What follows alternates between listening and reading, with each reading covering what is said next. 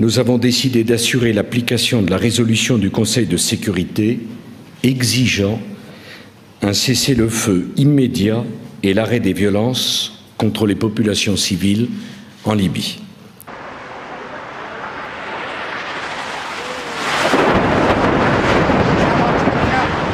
Bonjour, dans ce contexte de tension énorme entre la Russie et l'Occident, avec la guerre d'Ukraine, nous allons voir aujourd'hui ce qui s'est passé en Libye. En Libye, où la guerre maintenant dure depuis 11 ans. 11 ans. Alors les images que vous allez voir sont tirées de reportages que j'ai faits là-bas en 2011 pour des télévisions françaises. Alors pourquoi les États-Unis, la Grande-Bretagne et la France ont-ils décidé de faire la guerre en Libye? Alors pourquoi cette volonté d'en finir avec le colonel Kadhafi? Je vous renvoie à un discours qu'il a fait à Sirtre lors d'une réunion de la Ligue arabe.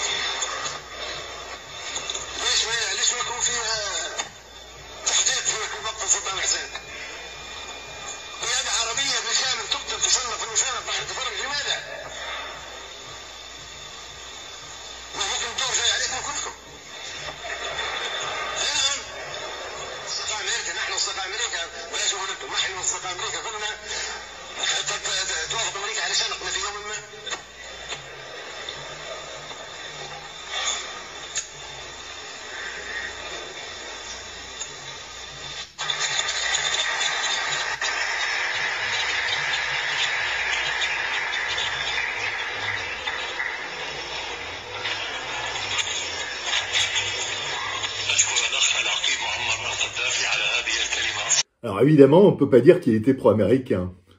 Et alors, qu'est-ce qui s'est passé avec Nicolas Sarkozy?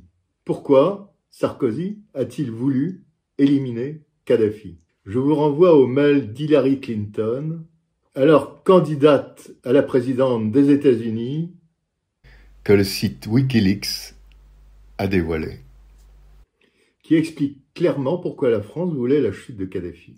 Quatre facteurs motivant l'engagement de la France. Premier facteur, un désir, je cite, un désir d'obtenir une plus grande partie du pétrole libyen. Ça, on s'en doutait.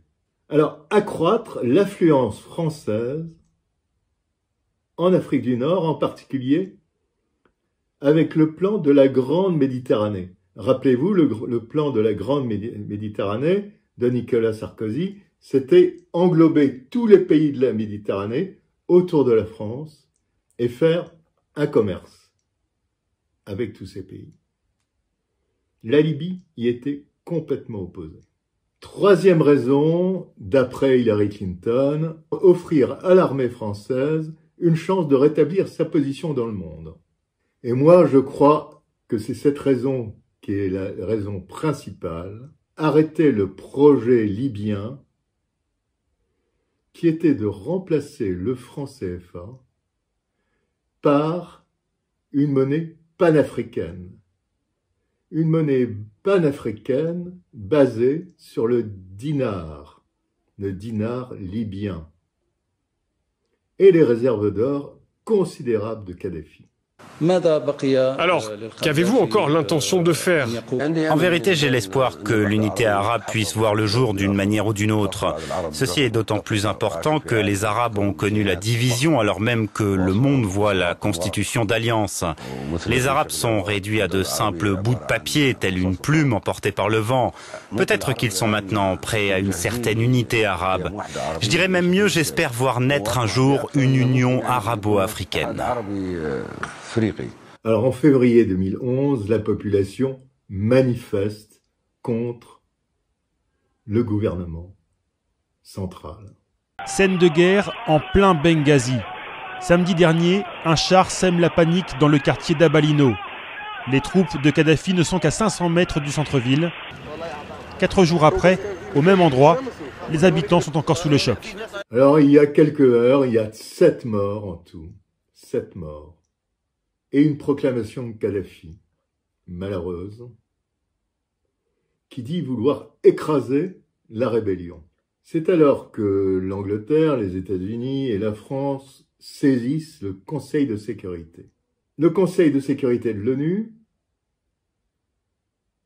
dit vouloir également protéger ces populations et autorise la France, l'Angleterre et les États-Unis à faire une zone d'exclusion aérienne, d'exclusion uniquement.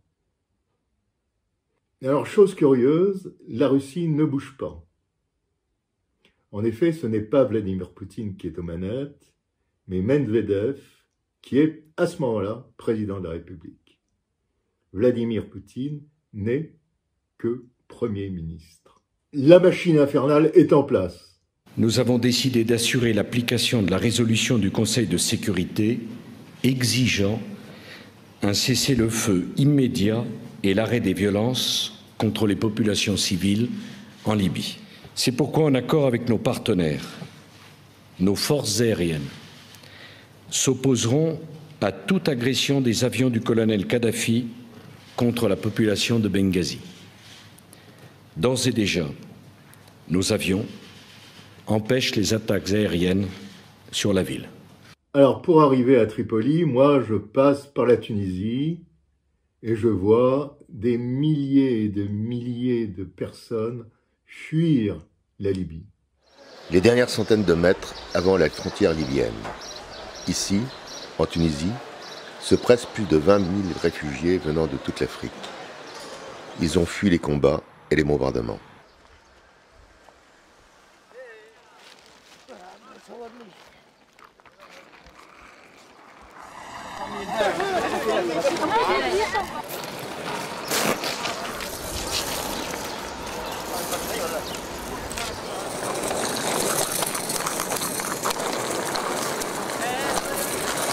Alors attendez, parce que les avions de la coalition, à ce moment-là, n'étaient autorisés par l'ONU que de contrôler le ciel libyen. Or, j'arrive, il y a des bombardements partout. Partout. Et des bombardements des forces de l'OTAN. Alors, là, les forces de l'OTAN, comment? Oui, des forces de l'OTAN. Car c'est l'OTAN qui a attaqué la Libye. Alors franchement, moi, je ne comprends pas. Je croyais que l'OTAN était une force qui, d'abord, ne s'occupait que de l'Europe, que des problèmes qui pourraient y avoir avec l'Union soviétique, Union soviétique qui n'existe plus d'ailleurs, et que vient faire l'OTAN de l'autre côté de la Méditerranée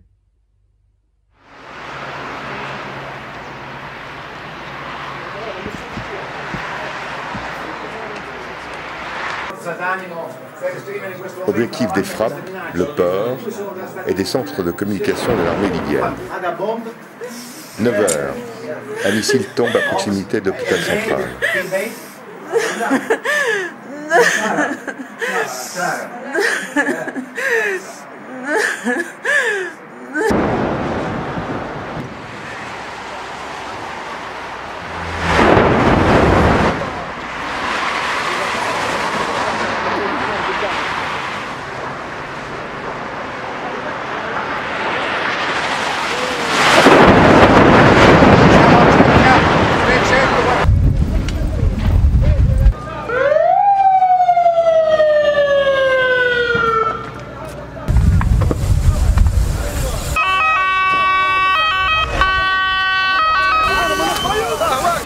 C'est un bateau de garde-côte. That's uh, coast guard.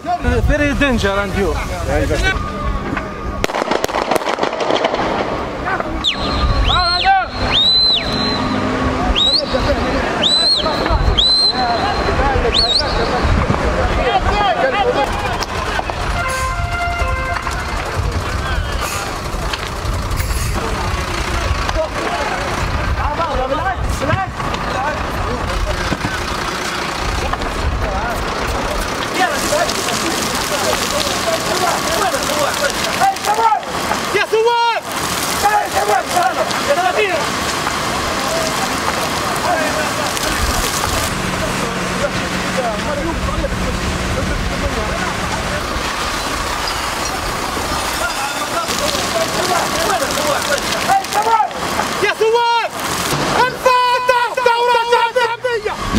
Du 1er octobre de Kadhafi est une révolution populaire. Je ne crois qu'en Dieu, Kadhafi et la Libye.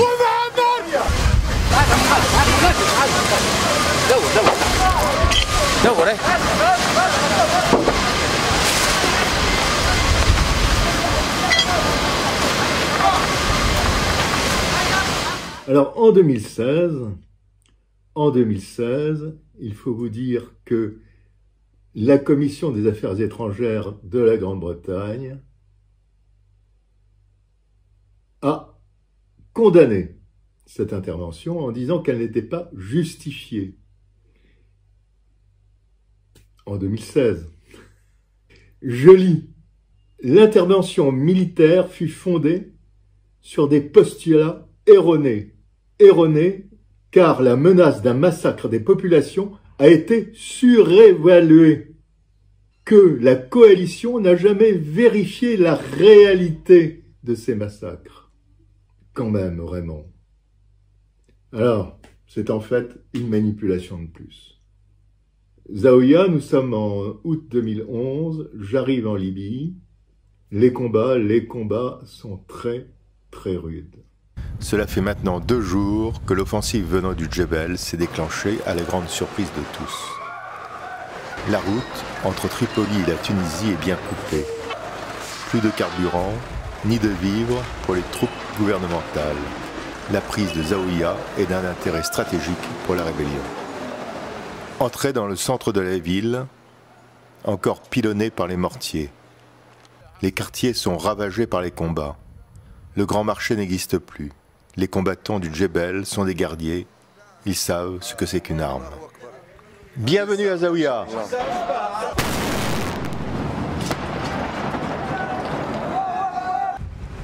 Au pied de la grande route, des carcasses de chars détruits par l'aviation.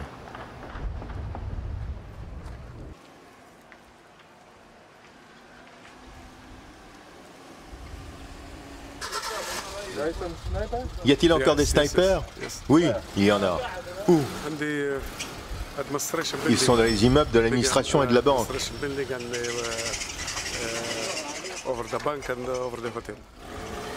En face, les troupes de Kadhafi sont matraquées par l'aviation de l'OTAN, jour et nuit. Ils sont retranchés dans des quartiers de l'est de la ville.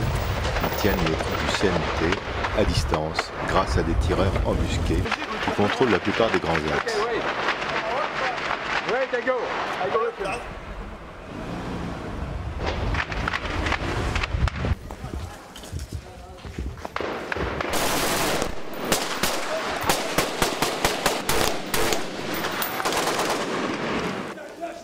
Les résistants ont pu rapistoler un char qui se met en position devant les immeubles occupés par les snipers. C'est au canon qu'ils les débusquent un par un.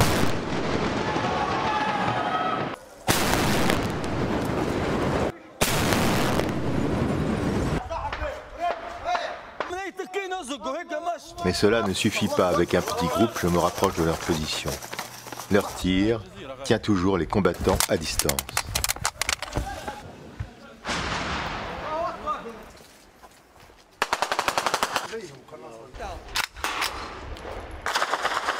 Il est 6 heures du soir, les positions sont inchangées. Zaouia n'est pas encore tombé dans les mains de la rébellion.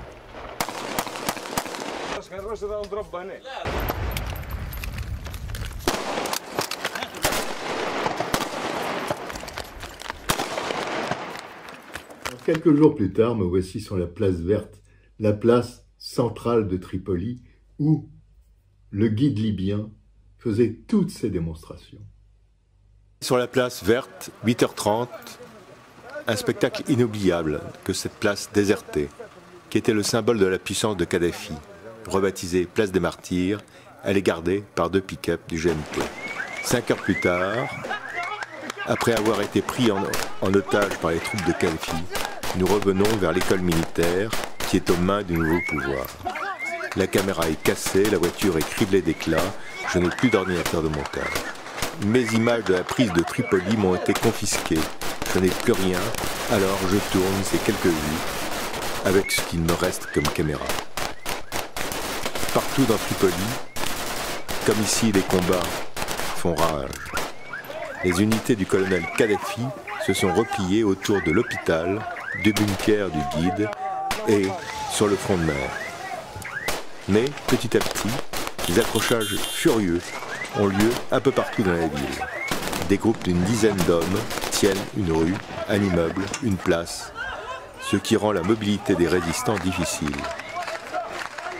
Par contre, les banlieues ont basculé dès le début vers la rébellion. Les insurgés tentent de placer des barrages pour contrôler la population, mais en vain. De violents combats ont été signalés près de la télévision, dont les insurgés ont pris le contrôle. Ici, à l'école militaire, des Kadhafi sont attaqués, faisant deux morts parmi les troupes rebelles. Ces partisans de Kadhafi n'ont plus rien à perdre pour la plupart. On leur a dit que s'ils tombaient entre les mains des rebelles, c'était la mort qui les attendait et rien d'autre. En plus, des rumeurs font état de massacre. Des renforts sont attendus de l'ouest libyen, de Misrata. En 24 heures, le destin de la Libye a basculé.